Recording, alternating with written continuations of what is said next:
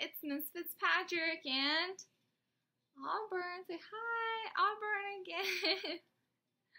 I hope everybody had a really good day yesterday. Um, I'm so happy so many of y'all watched my videos and answered my questions. Oh my gosh. Uh, I gotta think of something really cool to do for the kids that do answer all my questions. Or like maybe we'll do something fun or I'll get you something fun. Hmm. Have to decide. Um, I miss y'all. I can't wait to see y'all. Um, hopefully we'll get to see each other on Tuesday. So only a few more days, guys. Only a few more days.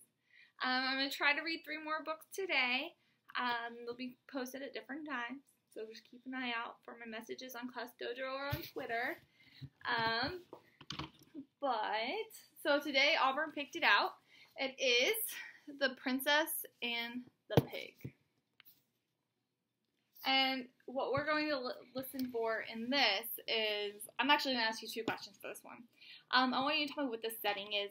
Remember, the setting isn't just where it takes place, it's also when it takes place. Okay? Um, tell me what the setting is, where and when. And um, I want you to tell me if you'd rather be the princess or the pig. Because everybody wants to be a princess, but I don't think this princess wanted to be a princess. This is a pig. This is a princess. Okay, we're about to find out and read. Okay, so Auburn picked this one out The Princess and the Pig.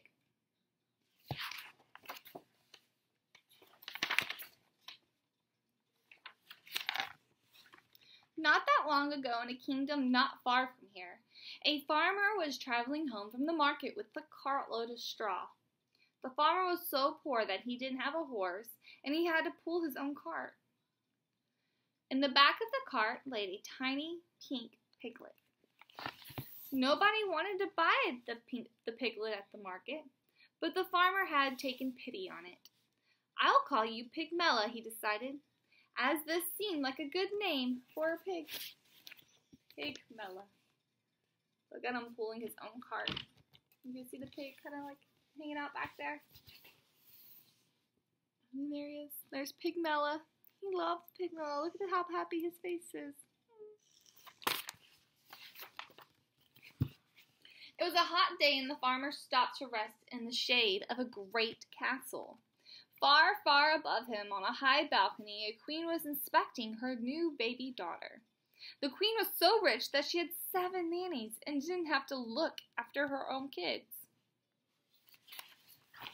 The queen picked up picked the baby out of her cradle and held her at arm's length, like this, like you're holding a baby. I'll call you Priscilla, she decided, as this seems like a good name for a princess. This is, look how she's holding her baby. I'm scared. She's not holding her like I hold you or your sister. A moment later, a wet, sque- squeaking noise came from the baby's diaper. Hmm, I wonder what that was. A wet noise.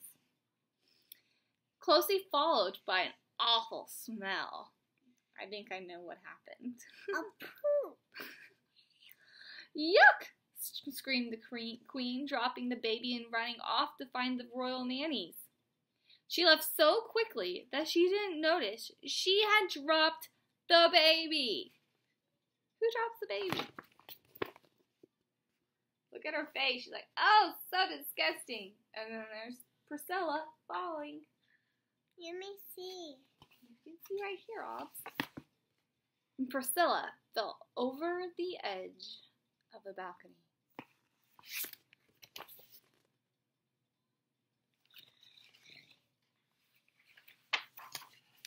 Down, down, down went the baby into the farmer's cart.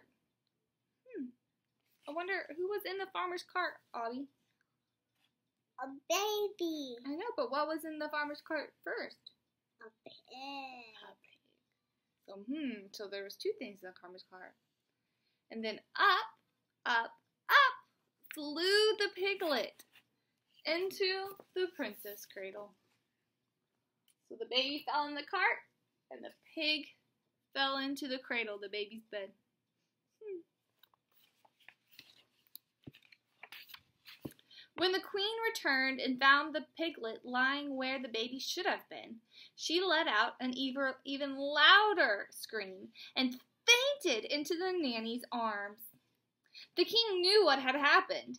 A very bad fairy had done this, he explained.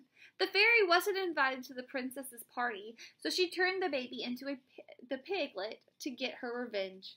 It's the sort of thing that happens all the time in books. She's freaking out. She faints. And there's the king explaining what's going to happen.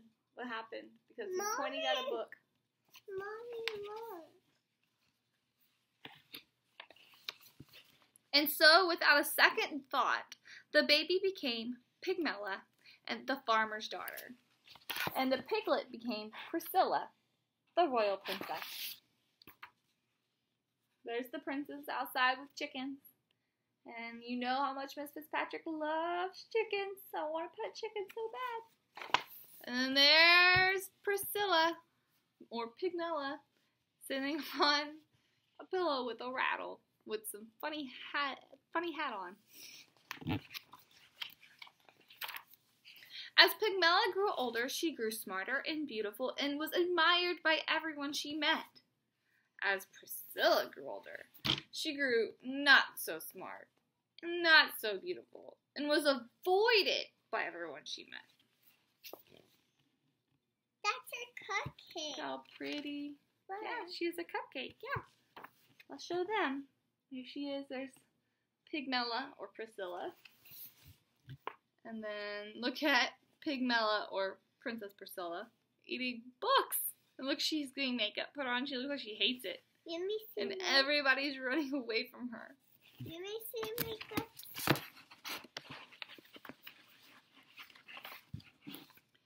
Then one day, the farmer's wife overheard that some castle servants were talking about a princess who turned into a pig.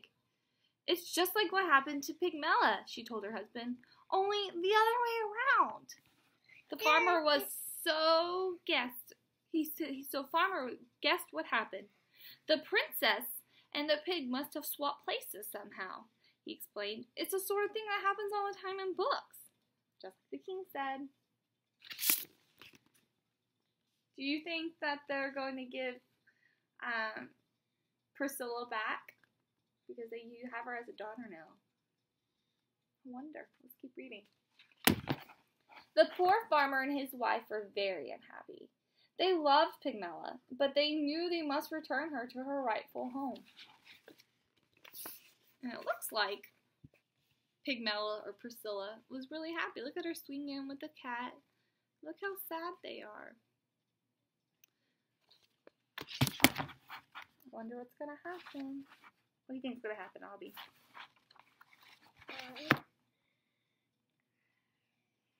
Pigmella was also unhappy. She loved the farmer and his wife and did not want to live anywhere else. But they were an honest family. So the next day they all went to the castle to see the king and queen. And the king and queen listened to the farmer's story. There they are in front of the king and queen. But they didn't believe it. What cried the queen. Ridiculous.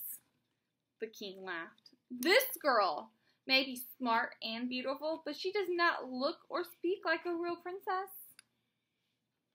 The queen thought she knew what was happening. It's a trick, she declared. This girl is just is just a farmer's daughter pretending to be a princess so she can marry a prince. It's this sort of thing that always happens in books. There's uh, Pigmella and Priscilla looking at each other like, yo, what's happening here? And then the queen's like, it happens all the time in books, y'all.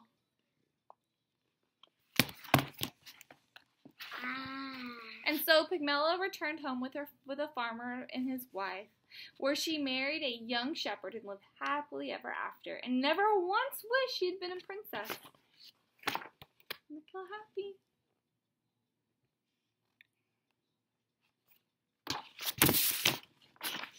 And Priscilla also got married to a handsome prince. although he had to be talked into it. Priscilla was changed into a pig by a bad fairy, the king explained. But once you kiss her, the spell will be broken and she'll turn back into a beautiful princess, added the queen. It's the sort of thing that happens all the time in books. And they're holding up the frog prince because that's what happened in the frog prince. Let me see the frog prince. That prince is gonna be mad when he finds out she doesn't turn into a princess. And this is not the sort of thing that happens in this particular book. you can see she has kiss marks. He has kiss marks all over her face, and she has kiss marks, and uh, she's still a pig. I like the book. I think it's really funny. So remember, in Class Dojo, on Twitter, or here on YouTube, comment. Tell me what the setting is. Where and when. It's a very easy question because it did say it in the book. Um, where and when, and then tell me, would you rather be um, Pigmella or Pris- Priscilla? Like, would you rather be the pig or the prince or the princess that lived not like a princess anymore? Um, I really like this story. Hope y'all liked it too. I'll be on the lookout for uh, the next two. Um, I'll be recording them later on today after I get back. Say bye. Bye. Love y'all.